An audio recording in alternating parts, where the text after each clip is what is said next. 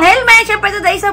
Happy day sa lahat ng mga bagong pasok sa channel to. Please don't forget to click the subscribe button, tiny bell, para lagi kayo updated sa lahat ng mga ina-upload at sasaw-sawa namin ng video hanggang part for today's video, mga bata helmet. Dahil nga, eleksyon na bukas! Siyempre, ito yung pinaka hinihintay natin lahat dahil pestahan na. ito yung mga karaniwang eksena sa oras ng botohan na madalas natin makita.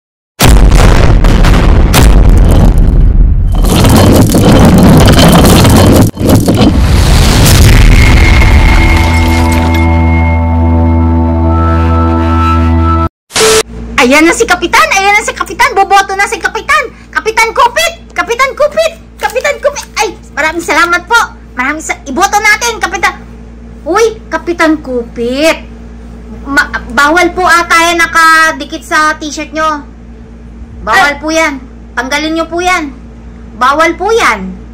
Alin po? Ayan o! Ayan o! Iboto nyo, Kapitan Kupit! Eh, ito yung design ng damit ko eh. Ano ba naman yan? Ay, ah, sige, okay na po yan. Ayan. Ah, okay na, oh, tuloy na kayo, tuloy na kayo, tuloy na, tuloy na, tuloy na, tuloy na tayo.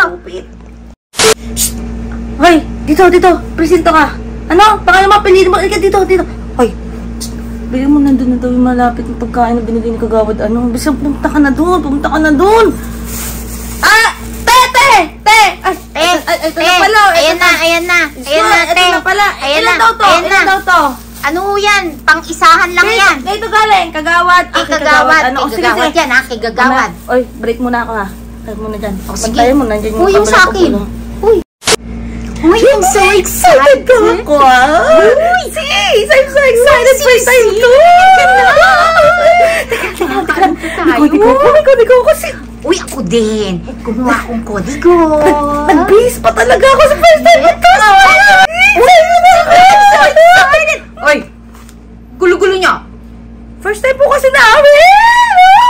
Ano ba? Napakaingay nyo naman. Nakita nyo na ba yung mga pangalan nyo? Sa listahan. Alam nyo na ba yung presinto nyo? Wala naman po kami ginawang masama. Ah, Diyos ko naman. Ano ba kayo? Bago lang ba kayong boboto? First time kami! Naku naman talaga. O sige, sige, sige. Ganito. Hanapin nyo yung mga pangalan nyo doon sa board doon. Wala doon, hanapin nyo pa doon sa kabilang kwarto. Doon pa? Oo, doon, doon, doon. Basta lahat yung kwartong yan. Puntahan nyo. Ang kinchay naman doon pa sa kabilang building. God! Excited na outfit ko! Excited na ako! Ano ba yan? Magsasarado na tong presinto. Nakaka-ins naman. Okay, 10 minutes na lang po. Magsasara na. 10 minutes na lang. 10 minutes na lang po. Wala pa yung pangalan ko rito eh. Ah, nandito Ay, pangalan ng lolo ano ba? ko nga. Patay na to. Ba't nandito pa to? Ano yan? Hindi nyo pa ba nakikita pangalan nyo? Eh wala nga ako dito yung pangalan ko eh. Eh, Sabi dun sa ano QR code eh. Hanapin daw eh. Wala naman dito. wala pa rin. Oh, wala dito eh. Ano ba naman yan? Wala pa ba dyan? Eh, nakita nyo ba doon sa iba? Doon sa second floor, pumunta na kayo doon. Second floor? Sa Oo, kabilang wing pa yun eh. Eh, pagka wala pa doon sa second floor, meron pa sa third floor. Ha? Marami dyan. Sunod-sunod na kwarto yan. Ayoko na bumoto! Hindi, bumoto kayo. Ko. Nasaan na ba? Naku, ano nga ba isusulat ko dito? Ano nga ba yung listahan ko? Ah, ito si Kapitan. Kapitan. Kupit. Tapos si Kagawad Kupitera. Isusulat ko number 2. Si ano? Si ah SK Chairman Kupitera. Puro, basta alam ko, puro kupitera. Kupitera. Kupitera, kupitera. Ay! Dalawa na tantos ko dun sa kapitan. Ma'am, pwede po, Bakit po? pwede pong humingi pa po nasang ano, papel? Bakit? Nagkamali po ako eh, kasi natantos ko, dalawa po eh, sa kapitan. Si Kapitan Kupit, tsaka si Kapitan na Kupitera. Ano ba naman yan? Eh, isang beses lang po yan eh. Ha? Hindi nyo ba alam? Eh bakit yung teacher po namin, pag nagkakamali ka, binibigyan agad kami ng ano, another sheet? Diyos mio, Marimar. Ma'am, Hindi nga pwede. paano yun? Ay naku, amin na nga ho yan. Pakasan nyo na yan. Tapos na? Yaman na nga. Kaya Hindi. na yan. Hindi naman to apektado ng grades ko. Hindi. Imamaldi ko to! Excited na ako.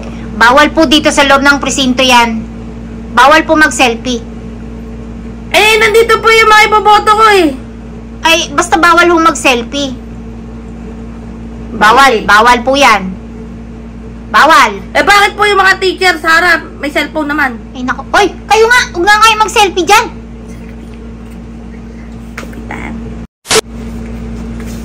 Uy, naman, Ma. Mari. Mama! Mari. Ano, okay ba? Okay nito. bigayan?